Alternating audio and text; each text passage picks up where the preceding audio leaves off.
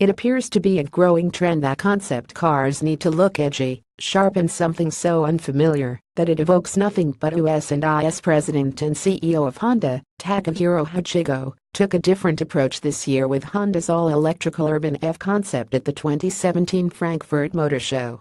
The Urban EV concept evoked an emotional connection unlike any other car showcased this year.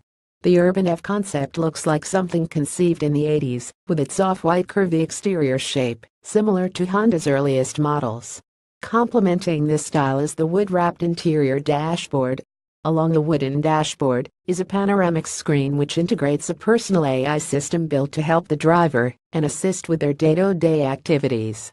You're probably wondering where the wing mirrors are right these have been substituted for an internal screen located in the door panel. The door itself has a rear hinge, opening in an unorthodox manner of today's standards. What stands out the most about this wonderfully simple, yet a magical concept, is its electrical headlights and side skirts. At the front and read of the Urban EV concept, you're greeted by an illuminating Honda badge with the car's name Along the side skirting of the car, you'll find the battery level indicator, once again, inviting the possibility to showcase more information over time. Designer Honda